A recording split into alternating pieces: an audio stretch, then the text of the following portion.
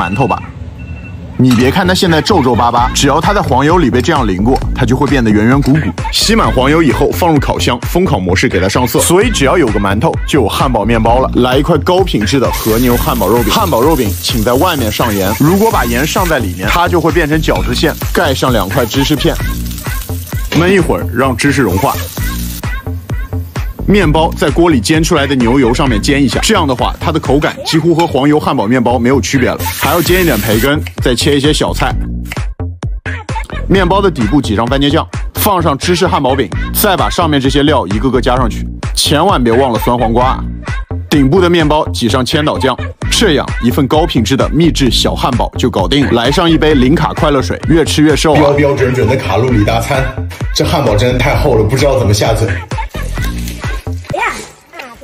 哇！